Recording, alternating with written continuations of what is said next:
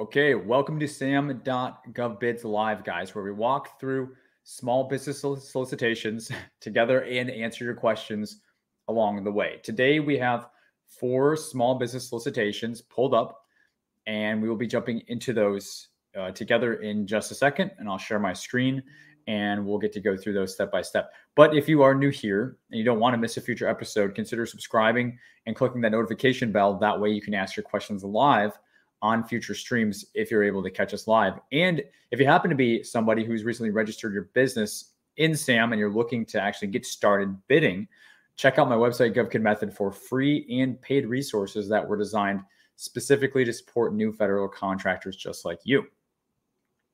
So I'll go ahead and show you a quick glance of my screen here of the four bids that we will be uh, tackling today. So we have aquarium curator services, we have lodging services. We have janitorial. And we also have chemist services. Okay. Today's a little bit of a unique, kind of fun. Um, I try to like group these per session in a way that kind of makes sense. And these are kind of like random miscellaneous, uh, but they're all professional service based. So that's kind of what we're looking at today. Do see a few um, comments. What's up, Christian? Uh, hello, E. Velasquez. We will get to questions in a few minutes um, as we go in between bids. So we will just go ahead and get started with the first one here for the aquarium curator service.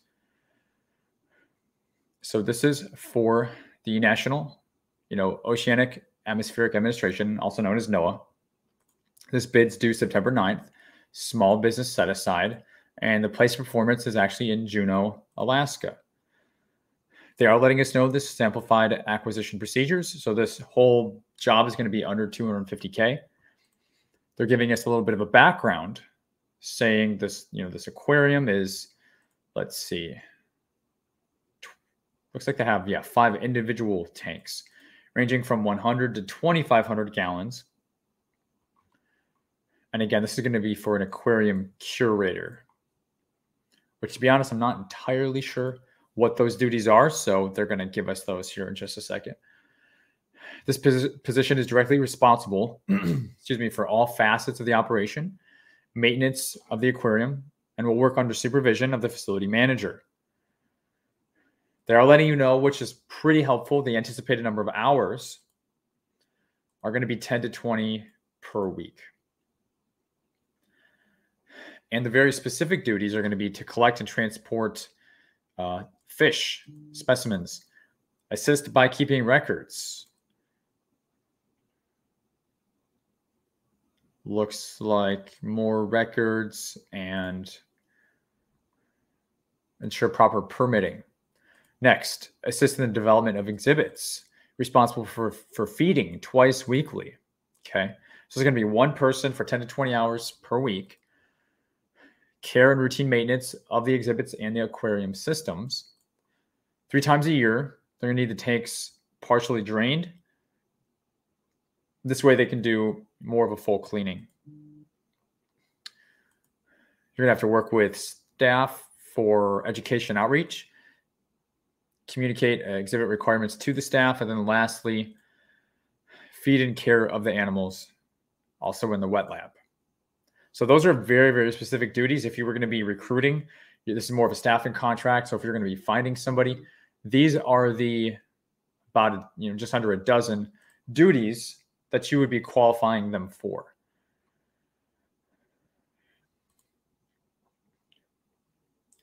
Looks like for the year they're saying it'll be up to uh, 1,040 hours, or or maybe this is an additional because they're saying on call labor. So is it 10 to 20 hours a week plus on call stuff?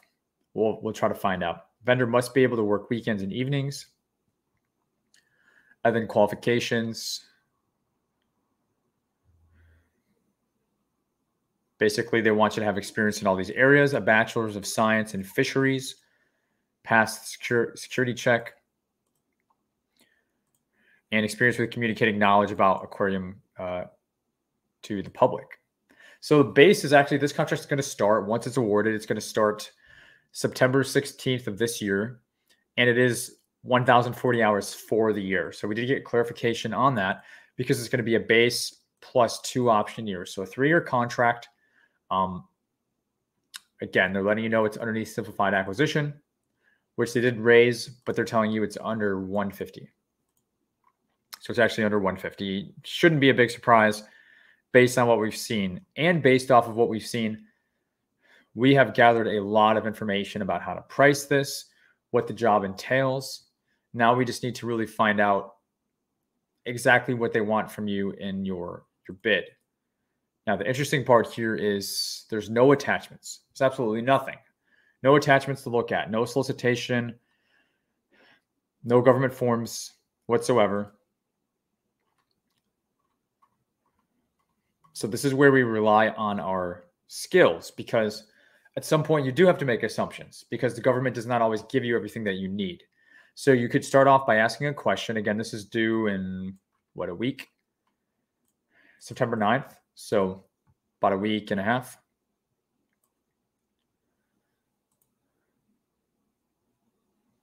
Yeah. So you, Heather Mail, we could ask for a format that they want the quote to be in. We could ask, do you need us to demonstrate a resume to assure that we are acceptable in terms of the qualifications, as well as the duties that are bullet pointed here? So you could ask questions to contracting since we have zero format, zero attachments. Okay. We say the rule with government forms is we don't go looking for them. So we're not going to go look for like an SF 1449 form or reps and certs or pricing CLINs to fill out because they were not provided. But we could ask contracting, what do you want from me? Or more specifically, do you want this? Do you just want a price?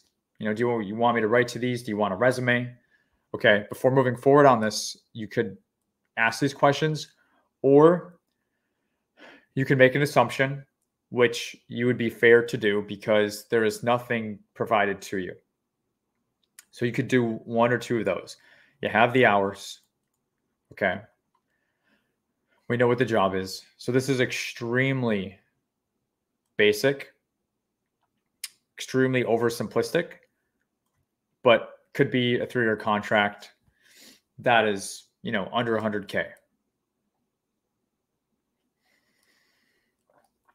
And for somebody who's looking to get into professional services, maybe not a bad way to go. Again, though, remember this is in uh, Juneau, Alaska, so probably the last point. You're going to be staffing, you're going to be looking for talent, probably in the city of, of Juneau. All right. Um, Christian said, "Can we look at the process of subcontracting?" So yeah, just let me know what specific questions you have for me to go through like a whole a whole process could take the entire session. So if there's something specific I can help you with, um, feel free to let me know. Thank you for this, by the way. Absolutely. Uh, E. Velasquez says, "Do you have anything for 484-121?" Um, you tell me. Again, let you let me know if you have specific questions. Uh, I don't think we have anything in terms of our four bids today, but again, I uh, I'm here to answer questions. I need something specific to work with if I'm going to uh, try to help you. So that was our first one, very straightforward. And I think, to, honestly, I think today it's going to be pretty straightforward as well. Next one is for lodging services for a senior leader spiritual event. See what I mean? Like, did we know that the government bought these type of things? So this is for the Army, Honolulu, due August 31st, due in two days. It's going to be for hotels in Honolulu. We have one attachment, which is the solicitation. So we will go ahead and take a look at that. So we have 32 page solicitation. They are calling this a draft, but apparently they're using it. Straight into the statement of work, also the SF 1449 form here as well but we know we're going to be looking for hotel. So this could include providing food, providing uh, conference rooms, providing audiovisual equipment. It could in- include those things. It may not. but this is for a spiritual retreat. So we don't know what type of support they're going to need. Or is it just going to be straight lodging and they're going to be going off the grounds? We don't know. So these are the type of things I'm thinking and looking for as I scroll through this. We do have a little bit of specific tasks. They're telling us 24 rooms, okay, 18 doubles and six kings, starting September 30th, going through October 2nd. So that would be 30, 31, 1, and 2. So up to four days. Food will be provided by the hotel as well as two meeting rooms, okay? They want one main and one child room. They do want audio video equipment as well, as I was just uh, guessing. So projector, screen, microphone, speakers, and parking. They will usually be a lot more specific than this, but today, high level. They're just saying food. They're not saying breakfast, lunch, and dinner, lunch and dinner, or just dinner. They haven't said. They also haven't said what type of food, you know, hot breakfast, cold breakfast. These are things that are can be important, I'll say. But they have not clarified, in which case, pretty much every hotel is going to provide at a high level what they've asked for. Okay, so now we're getting to our performance summary where they decided to include some more of those details. So they're saying September 30th, dinner, October 1st, breakfast, lunch, and dinner, and October 2nd, uh, breakfast. So one dinner, then breakfast, lunch, and, or I'm sorry, two dinners, and then two breakfasts and one lunch. So that helps. And that's going to be provided by the hotel, which means the hotel is going to have to include that in their quote to you if you're going to be calling up hotels on this thing. And again, this is small business set aside. Correct.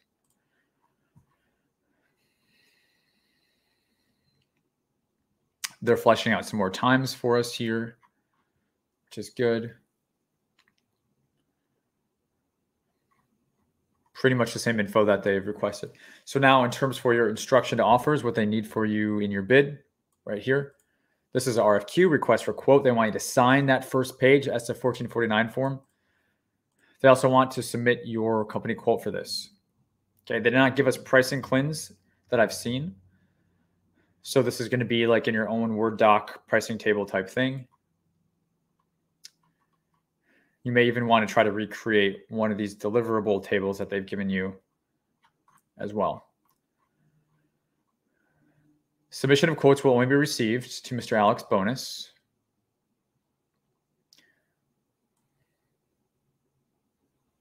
If there's amendments, you need to acknowledge those. There are no amendments as of yet, and this isn't due in two days, so it's not very likely. And that's that's it. Basis for award. How the winning bidder will be chosen. It's going to be on price alone, which you can infer is going to be lowest price alone so also uh, lowest price technically acceptable. Past performance will not be evaluated factor. Okay, so they did put the pricing CLINs down here. So these are what you need to, uh, to fill out. You do not need to create that table. We just take it page by page here. So starting on page 17 of 32, they're giving you the lodging. And this is going to be for the rooms specifically, the price of the rooms from the 30th to the 2nd for 18 doubles and six kings. Number two, they want you to break out the meals. Okay, so five meals. So when you get your quote from the hotel, you're going to also need them to break out the quote. That way, they're not just rolling it into one number because you're going to say, well, how much how much is it for the meals specifically? We need it broken out. When it comes to pricing, guys, anytime the government gives you a price breakdown or regardless, however they're asking for the pricing, if you're relying on a sub, you need to have them provided to you in the same format that the government's asking of it from you. That way you get it from the sub and then you can put your markups and whatever else you got to do to the pricing and then you submit it and everything's apples to apples to apples. Too many times people try to just or or I should say subs try to just pass off a number to us and say here's my number. And it's like, "No, do you know how the government works? Let me educate you. The government needs to see this this and this. Therefore, I also need to see this this and this." You need to be bold. You need to be confident in what you're asking for in the subs. Do not let the subs dictate you because I know that it feels vulnerable because you're relying on them for pricing. but you need to be the one in control. You need to retain that power from the get go. So when you see things like this, you kind of just got to set that expectation up front, especially when it comes to pricing. And then we have the meeting rooms. So remember, they had the one main room and then also the, the child room. So they want pricing uh, broken out for that. Oh, wow. okay. So they also want uh, the AV equipment rental. So that's going to be a separate price. And then they also uh, parking. So it's up to you if you want to charge them for parking. I don't think the hotel is going to give you pricing for parking unless there is no parking and it's either a, a valet or it's like a parking structure and they validate. If it's something like that, then sure, there will be pricing available uh, for parking. So you'll just kind of have to see what the situation is going to look like at your particular hotel in Juneau, Alaska that you're going to be contacting. But here you go. There's no past performance required, pricing only, and it's lowest price. And they want you to fill out these five CLINs as well as the SF 1449 form.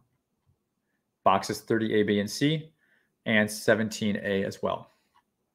That's what your bid response is going to look like to this. Extremely easy. Okay.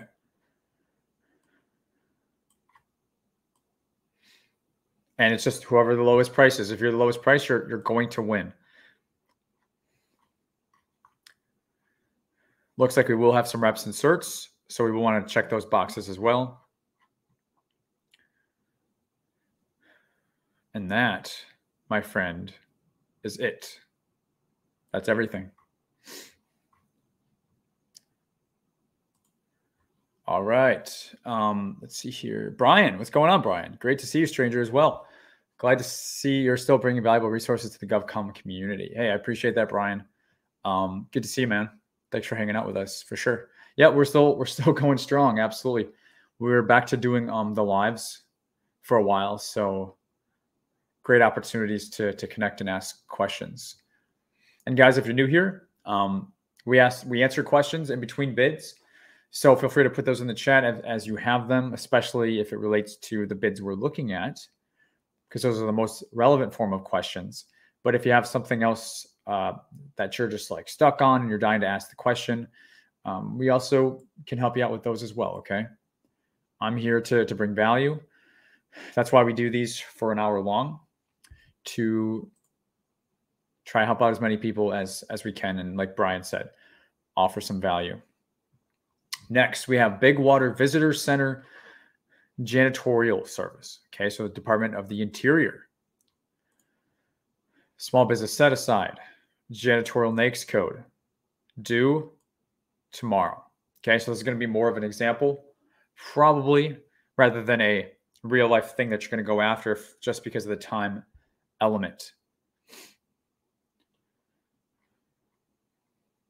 In terms of attachments, we have a solicitation doc, statement of work, inspection report. Looks like maybe some uh, some drawings, wage determination, your evaluation, how the winning bidder will be chosen. We have an amendment, as well as the amendment uh, amendment amended statement of work. So let me see. Okay, we're good. We'll just dig into the solicitation first. And remember, this is for janitorial services. We'll see what we're working with. So this is the solicitation, 34 pages long. At a minimum, page one, right out of the gate, they're telling you what they want. Sign the SF 1449 form, which, yeah, it's going to be the next page. Then they want three volumes. Volume one, technical. Volume two, past performance. Volume three, price. So your response is going to consist of breaking down three different volumes as well as signing the SF 1449 form,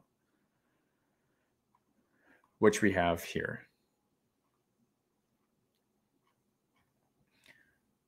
We can gauge that the uh, period of performance to start a work for these janitorial services will be October 1st. This is another RFQ.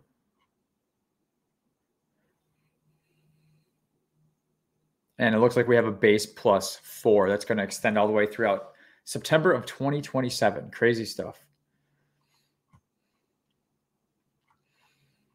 So we have some clauses here, definitions. And I mentioned this on a previous uh, episode, guys, but when you get to those those regulations, just know not all of the regulations apply to you. The ones that have the X's or the checks next to them are the ones that apply to you. If you're trying to trying to skill up on your FAR game, that's that's what that means. FAR meaning federal acquisition regulations.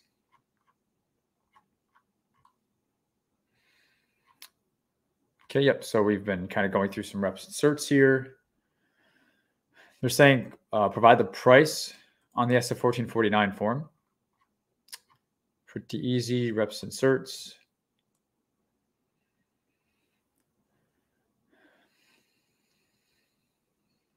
So coming back to the pricing CLIN, those would be located here. So page four, they're not asking for, or I haven't seen yet, any sort of hourly breakdown. So your price is just going to be your all in price for the year. Now, I really need to see the statement of work because janitorial, it could be once a week, twice a week, three times a week. It could also include things like uh, semi annual floor cleaning and carpet cleaning and waxing and all that stuff, uh, window washing, things like that. So we'll have to dig into some of these other documents to find that out since they have not priced those things out separately. So here's a statement of work. And remember, we do have amendments, so we will we won't forget about those as well to see what changes were made.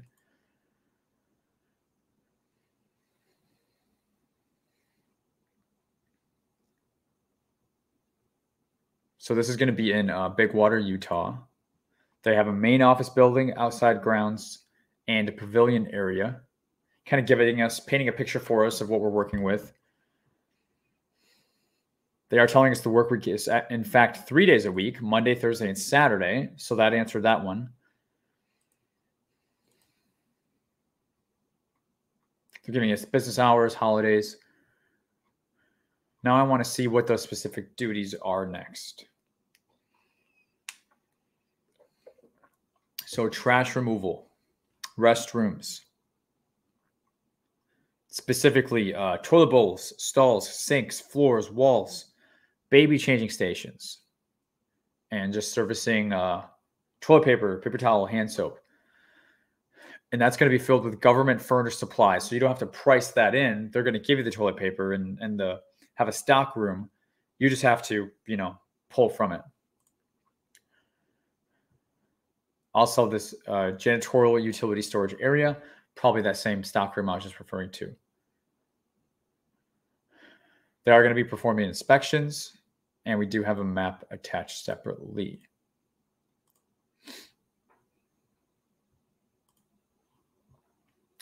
So, kind of a high high level uh, map. We know the main building, the restrooms. Okay, so, you know, you would provide this to your sub. It's somewhat helpful.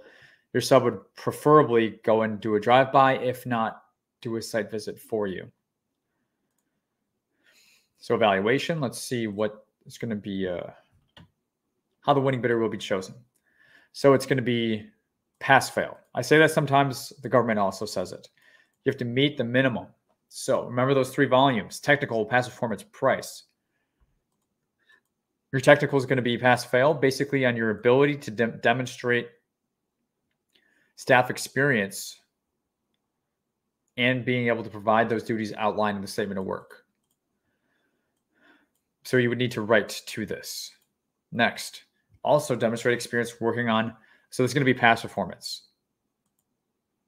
I think they're not saying it, but recent projects, similar scope and size, within the last three years. You know, that's past performance.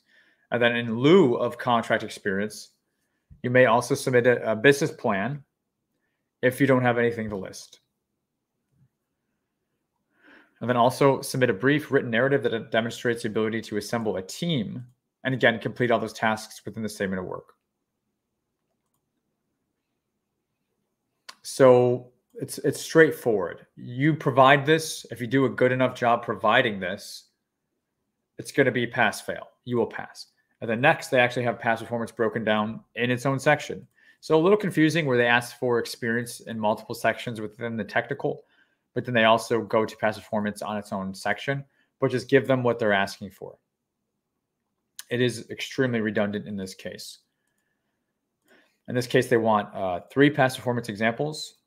And again, if you don't have it, um, you can provide them that business plan. But in this section, if you don't have it, you shall shall or shall not be uh, rated favorably or unfavorably. Okay, it's not going to help you if you don't have it, but it's not going to hurt you. And then lastly, again, the price is going to go on the SF 1449 form. So I I skipped over it, but best value as well. So even though the technical is going to be pass fail, the overall response with technical pass performance and price is going to be best value. So the lowest bidder is not necessarily going to be who wins. It's going to be what's most advantageous to the government in terms of value. And then I think lastly, we'll just go ahead and check in on our amendments for the solicitation and that statement of work.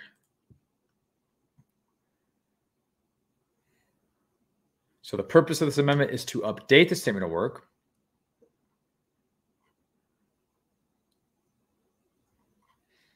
Okay. And whenever, guys, whenever you have an amendment, you need to also acknowledge this formally by print, signing, and dating.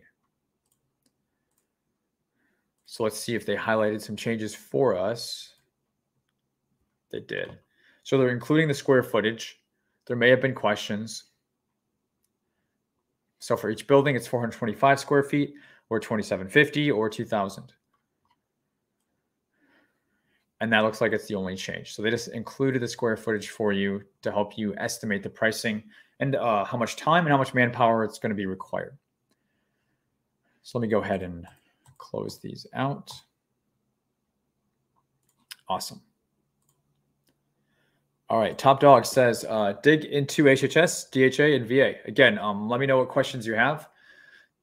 Digging into this is too general for me. I'm not sure exactly what you want me to dig into. So if you have specific questions, just post them in the chat. And we are going pretty quick today. So um, we only have one more solicitation left. Usually it takes us a whole hour but we don't have as many questions today. So, Marine Chemist Services for hot work at Naval Base Point Loma. This is Navy due the 30th. So, again, due tomorrow. Small business set aside 541990 NAICS code for professional, scientific, and technical services to be performed in San Diego, California.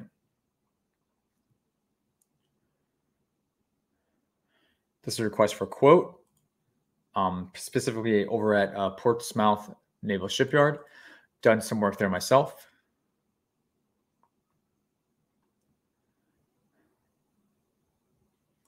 They did copy and paste some info here into the listing description, so I'm kind of just going through that.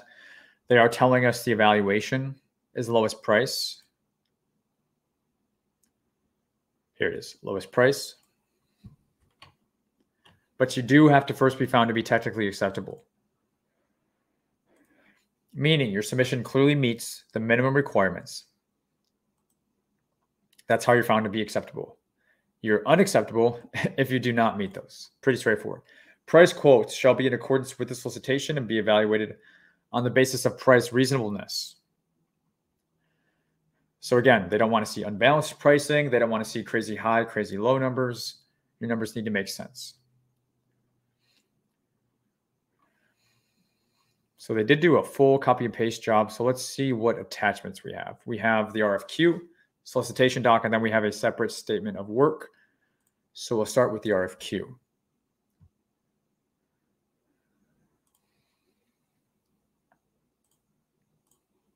All right, open that up. Okay. So this is just five pages long we're not seeing what like what we would typically see like SF 1449 form. we're just seeing kind of like a cover page with some yellow highlights with some blank places to fill in, like your company info, your signature, your date, etc. So pretty intuitive to fill that out. Again, to remind ourselves here and to remind me, marine chemist services. But when we're looking at this, it's kind of unique because it's for visits. So for the marine chemist, for the base here, it's going to be 40 visits. Okay, then additional spaces per visit, 80 each, and then standby time, 48 each. Not really sure what those units are telling us besides the visits. Not sure what these additional spaces and standby time means, but we can also derive this is a base plus four option years. And the job will begin September 15th of this year.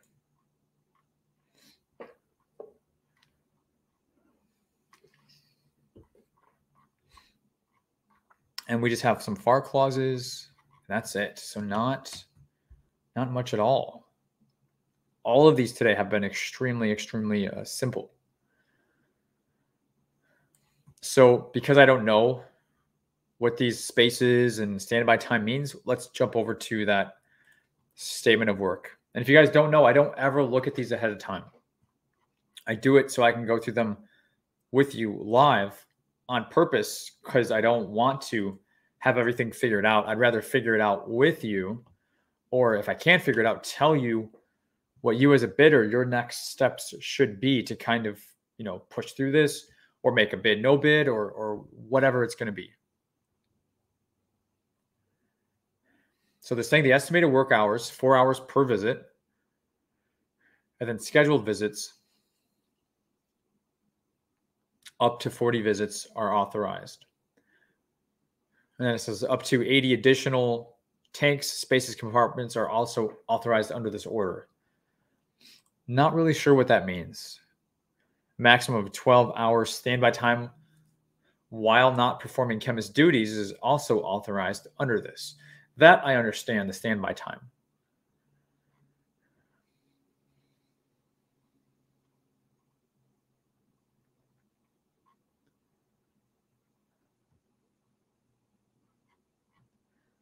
That's really all that we have to work with. So if you ever find yourself where you're not really 100% understanding something, like with this additional spaces per visit, you can ask the question to contracting. Okay. Because here's the thing you know, it's, you're going to have questions. There's going to be things that you do not understand. And every bit is different. So you're not always going to have it figured out. And this is the this is why so many struggle with bidding and trying to understand this stuff because you think you got something figured out and then you move to the next one and then it's different. And then everything you learned can sometimes feel like it goes out the window and then you got to learn something a little bit different. And then repeat, repeat, repeat. And then it's like you can never get any solid ground underneath your feet because there's no solid like feedback coming to you for doing the same thing again and again and again. So the best way to approach it, and the way with you know the clients that I work with, is we have a a loose structure. So the structure part of it is okay. You can bank on this. Okay, and when you come to challenges, you can do this. But then the loose part is being flexible, not having expectations, not necessarily being afraid of not having all the information, but being committed to getting as much of that info as you can. And whether that's through doing research, you know, hopping on fpds.gov, or again, submitting RFIs to contracting, uh, things like that. This is how, this is why it's building a puzzle. And I say this again and again and again. We're starting with a puzzle. There's a bunch of pieces. We don't know, you know, which order they go in. We start by trying to put those corner pieces together. We try to build like an outline of what this is going to look like. And then we start to put together some of the meaty sections. And before too long, we start to get an idea. Every single bid is like that, and it's starting over.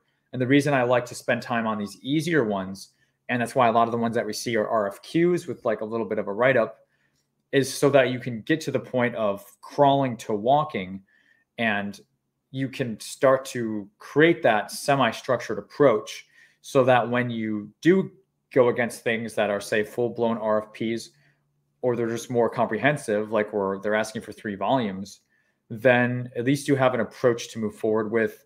And it's going to be like taking the training wheels off kind of thing. So, so for this, like I was saying, um, anything you don't understand, you ask, you ask the questions.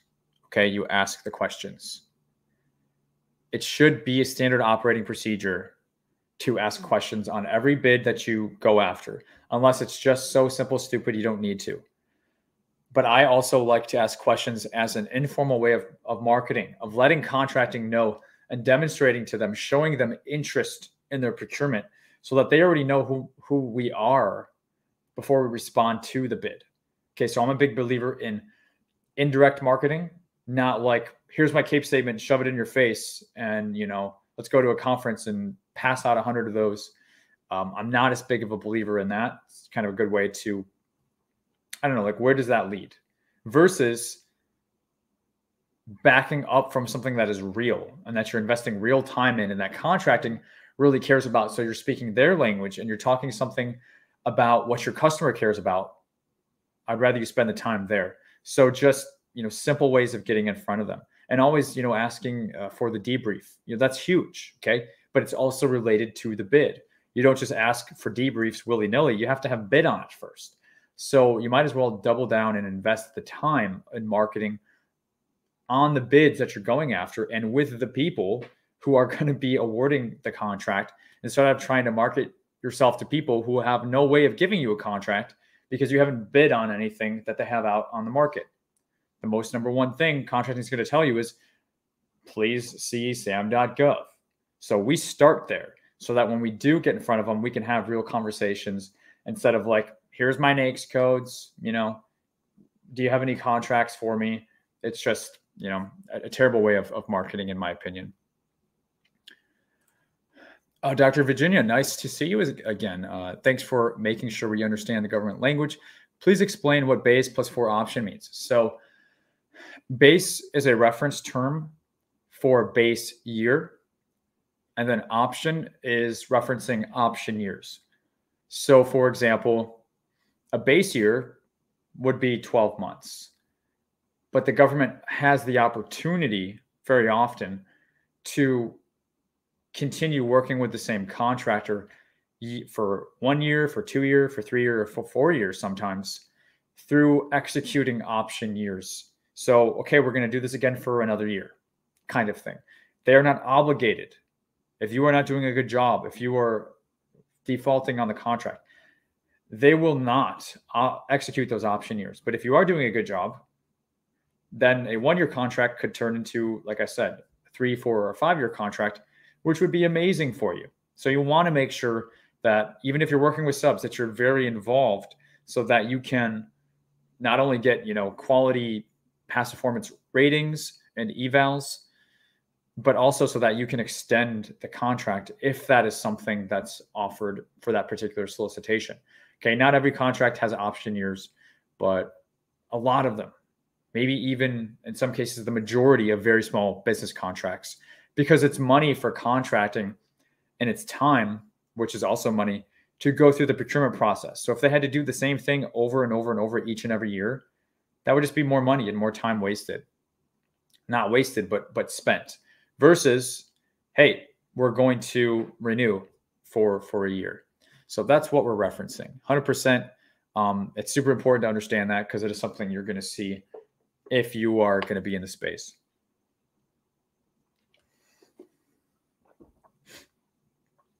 Yep, Top Dog uh, said it as well. One year, and if you perform well enough, they will sign for the additional years. 100%. You got it. All right, guys. Any other questions? That is the four bids for today. We just flew through them faster than we we ever have. If you have questions, please you know make them specific so that I can try to help and answer them. Um, so I'll give you guys just a minute to see if there is anything that you come up with. Otherwise, we will call it a, an early session.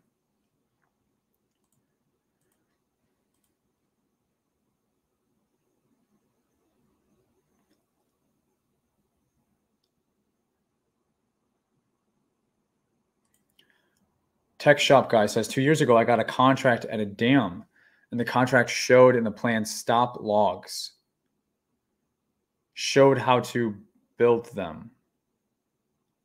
Then in the specs said no stop logs are part of the contract. Which way should I have bid it? So Tech Shop, if you're saying that you received con- uh, you've seen contradictory information, you should have gotten that clarification before bidding because otherwise you're putting yourself at a risk of either pricing too low and then being asked to do something or pricing too high to do something that wasn't required and maybe pricing yourself out of a competitive range. So if you ever receive conflicting information, you always need to make sure that you get the clarification from contracting because how how could you? You know what I mean? Your question is the same question that I would I would put back on you. How how can you bid it if you're telling me it's stop logs and then don't stop logs? You know, and, this is this is why I encourage everybody who's bidding. You are the experts, not contracting. Contracting also makes mistakes. They're also in high turnaround positions, turnover positions. Many of them are also very new. Okay. They're also using a lot of copy and paste. A few episodes ago, we saw them leave something in from a totally different contract where it did not line up at all with what they were asking for in the pricing. If you just move forward with that because you're uh, timid or afraid or you don't know how to ask for the clarification, then there's going to be a mistake made and it's going to fall on you and you're going to waste your own time. So it's uh, for everybody, it's just learning to have confidence. You are the expert. And if you have questions or something doesn't make sense, just know there are mistakes made all over the place. Okay. In almost every single contract out there, you can bet there's at least going to be some small mistake. So if you know you're looking for that and and maybe it's not even a mistake, okay? Maybe there's nothing technically wrong with it, but the way they're presenting it to you as the expert, you're saying that doesn't make sense. That needs to be clarified. You should plan on asking for that, requesting that every time that you see it. Like I said, it's just a standard operating procedure if you're going to bid on SAM. Don't expect contracting to, you know, have everything right the first time. And that is the purpose for amendments, why we see amendments very often because they make a tweak, they make a change. Maybe they forgot to add something in, you know, it's they're human, they're human as well. And then the last thing with that is they're working on a lot of contracts. So, you know, you're all in on this one solicitation, they're going to spend the next week working on it. They're working on 10 others. Okay.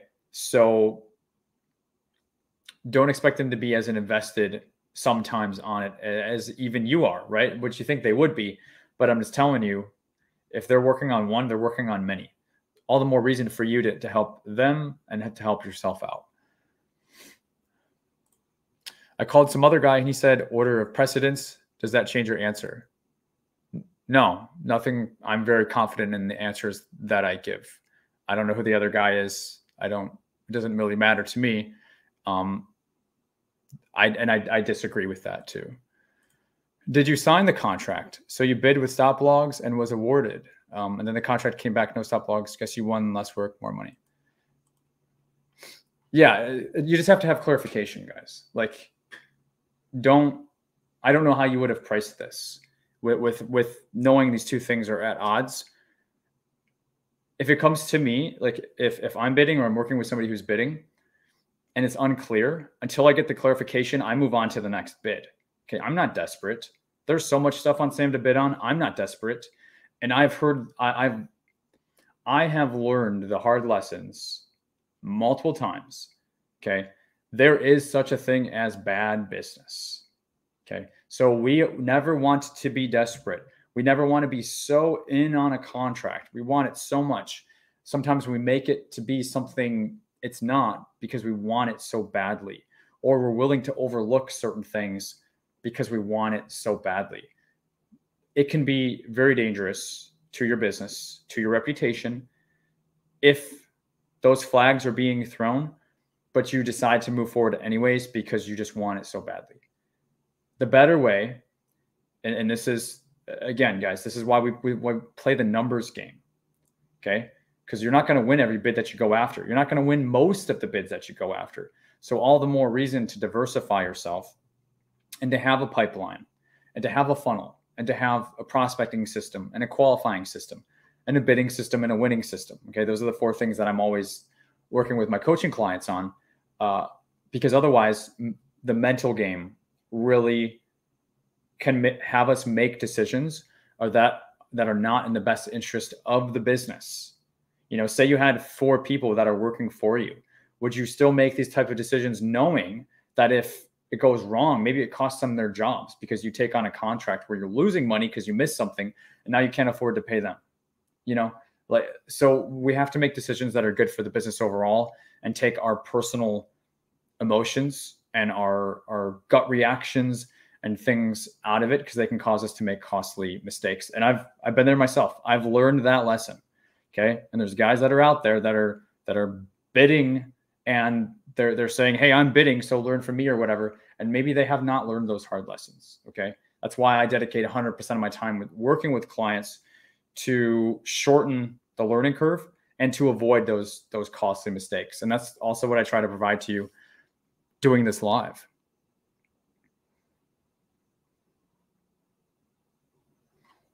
All right. Any last minute questions, guys? Um, we'll take it from there. And after that, we will call it a session. I hope everybody's having a great start to your week, morning or afternoon, depending on where you are located.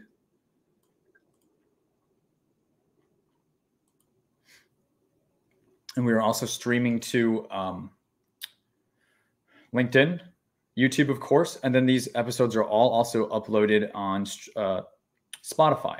So if you're a podcast type person, um, this is something we just started a couple weeks ago. Feel free to go over to Spotify, check us out if you prefer to, you know, like listen, you know, listen on the phone or listen on the, the radio while you're driving in your car. We are uploading all of these episodes to Spotify. And I've also learned that Spotify has a a video option as well, which is a new thing. But the audio only versions are they are there as well. So pretty cool. Um, and yeah, guys, uh, let me see here. If you have not checked it out, I do have a few resources over at my website, govkidmethod.com. If you are looking, if you're you're brand new, you're looking to kind of just figure this stuff out. Are you a fit? Or maybe you're struggling with past performance issues, or you want to know how to subcontract or middleman legally. I created a whole free training based off of that. So you just got to go to my website, click on this button, and it will take you there. Totally free if you are looking for additional support services like uh, proposal templates, capability statements, and our our first fed bid program, the course only portion, we've extracted that out so that it can be more affordable for some folks. Um, we've included all that together in a bidding bundle. And then lastly, if you are looking to work on you know bids uh, together and be more of a, a, coaching type program where we meet twice a week over Zoom, uh, we have that option as well. If you're looking and if you're seriously looking at, at getting support, and it's just me in there, so I don't have any other coaches or nobody I pass you off on. Um, the clients that I work there uh, within there, they get me twice a week over Zoom. So just know those resources are there for you as well. Um, if you haven't seen those, I highly recommend, if nothing else, go through the free training. It's free. You got nothing to lose. It's a solid hour, jam packed of basically the best of things that I've learned over the last three to four years of working with clients um, this is going to get you started a heck of a lot faster, and that's why we we set it for free. All right, guys. So looks like we are all set here today. I hope everybody has a great rest of the week, and um, we will be streaming again a couple days from now, probably on Wednesday. So I will see you all then. And yeah, uh, subscribe if you're new here. Smash that like button if you got some value from today's session. Uh, oh, we got a last minute question. It looks like. Jesus is Lord TV. Hi, Derek. I bid for an RFQ, but the CEO said it's under evaluation. Do you of the process, please?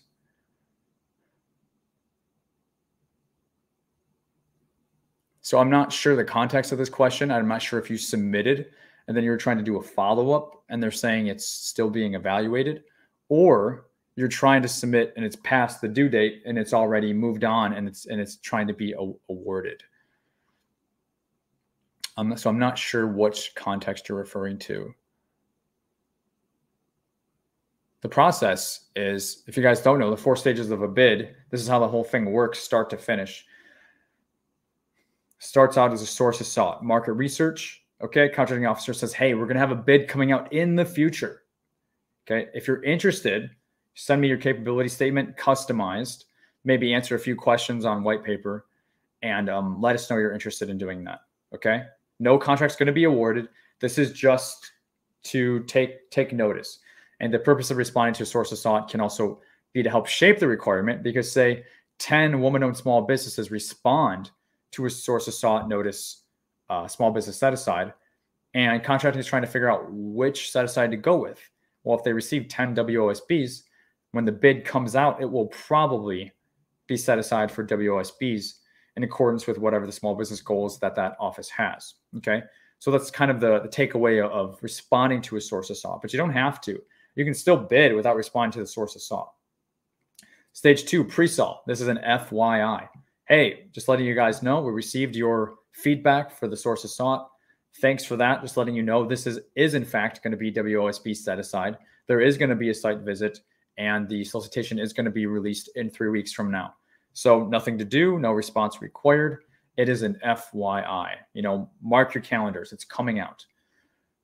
Stage three, is the actual solicitation. Okay, so this is where you actually put together your bid, your pricing, whether you're doing technical, past performance, you know, signing the, you know, SF 1449 forms, government forms, the reps and certs, whatever. This is where you're actually completing and submitting your bid. And they will give you a formal solicitation for you to read through at this time. And then they will tell you what they want in your bid, which is what we do together on these sessions and then you give that to them. That's stage three, and then you you respond via email most of the time before or by the due date. Okay, and then stage four, the last stage is the award. So the award is made public. It's posted on SAM.gov. You want to make sure you follow or watch those opportunities you're going after on SAM. That way, you receive an email notification saying, "Hey, this opportunity has been updated. The award has been issued." You can go and see who it was awarded to you can see the dollar value. And that's pretty much about all that they show you. If you are the winner, you would typically be contacted before that's publicly posted via email. And um, they're going to send you the solicitation. They're going to, you know, you're going to sign it, send it back. They're going to sign it, and the award's going to be issued. Or they may even have like questions, you know, clarifications to be made before that as well. So that's kind of the whole process in a nutshell. And um, you know, if you're working with subs or whatever after that, as soon as you win the contract, that's the time to go back to your subs and say, hey guys, we we won the contract. If you're going to try to shake the subs down, if that's something that you you want to do, because now you have more bargaining power because you do have a contract in hand, um, you can do that. Otherwise, you can proceed with cutting a subcontract agreement with them. You know, if you're going to have them sign an NDA or what have you, it's kind of the process that you would go through. You could also do through that um, the NDA process with the sub when they're giving you the the quote as well. You don't have to wait for an award on that. For sure, for sure. So that's kind of the process. Not sure if that answers the question, but it is the general overall process.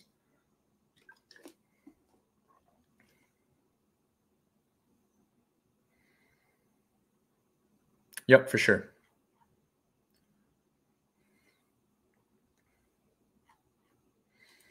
All right, awesome, guys. Again, smash that like button, subscribe if you're new here so you can ask questions during future live sessions. That way you don't miss them. And we will see you all later this week with another live. So have a great Monday, and we'll see you all next time.